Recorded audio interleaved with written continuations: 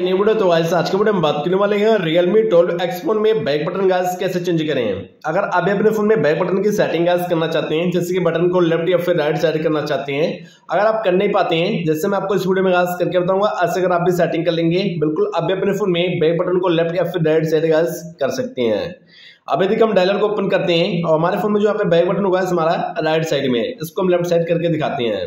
तो देखिए सेटिंग को ओपन आपको कर लेना है यहाँ पे, ठीक है। सेटिंग को ओपन कर लेंगे, यहाँ नीचे स्क्रॉल करके आएँगे। कनमस टूल्स का एक ऑप्शन है, इस वाले ऑप्शन पे क्लिक कर लेना है।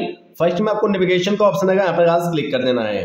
और यहाँ पे जब घास क्लिक कर देंगे, ठीक है, अब यहाँ पे देखिए, अगर इस इस ऑप्शन में अगर आप ऊपर वाले को सिलेक्ट गर्ल्स करके रखेंगे तो आपके फ़ोन में जो बैक बटन है, वो गाइस राइट साइड में रहेगा, ठीक है?